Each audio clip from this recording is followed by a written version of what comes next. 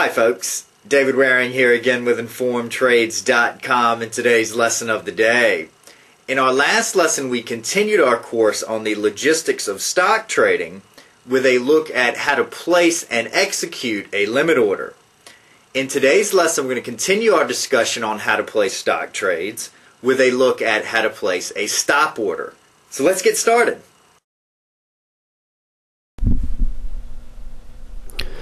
Thus far, we have learned how to place an order to be executed at the best price available in the market, the market order, and how to place an order that will only be executed if the market trades at the price you specify in the order or better, referred to as the limit order.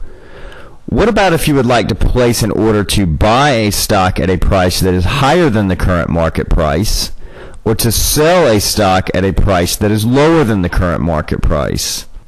If you tried to do this with a limit order, the order would immediately execute at the current market price because in both these situations, the current market price would be better than the price where you place the order.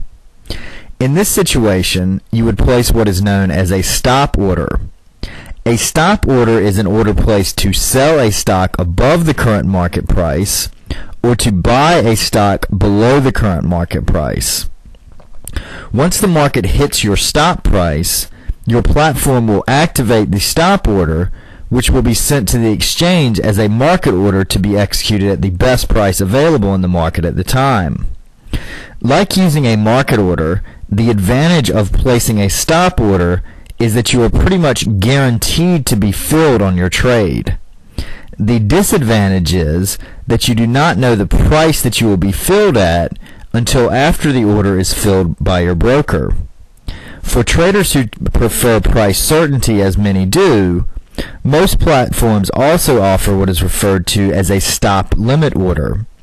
The stop limit order works in a similar manner to the stop order in that it is an order you place to buy a stock at a price that is above the current market price or, or in order to sell a stock at a price that is below the current market price.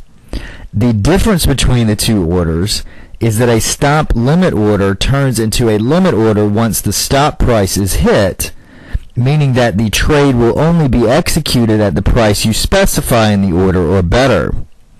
This is in contrast to the straight stop order, which will be executed at the best price available in the market, which can be a worse price than the price at which the stop order was placed. Now that we understand this, Let's log into our Thinkorswim paper trading accounts and place a stop and a stop limit order.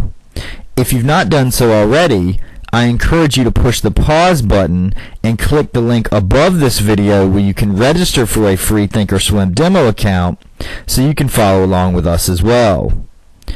Once you've logged into the platform, let's go ahead and pull up a quote for the ETF which tracks the price of the S&P 500 index, the SPY.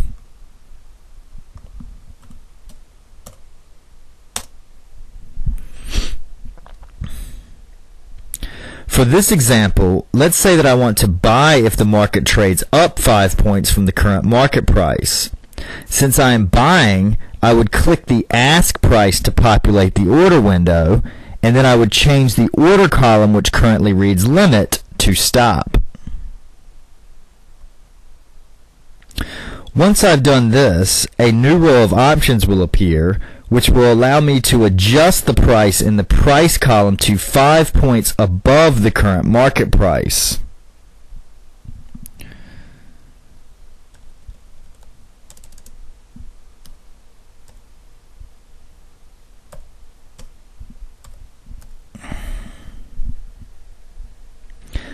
I want this order to sit on the platform until my price is hit so I'm going to click the blue arrow beside where it says day under the rules column and then select GTC, which stands for good till canceled in the window that appears. This will keep the order on the platform until I cancel it manually, even if I log out of the platform.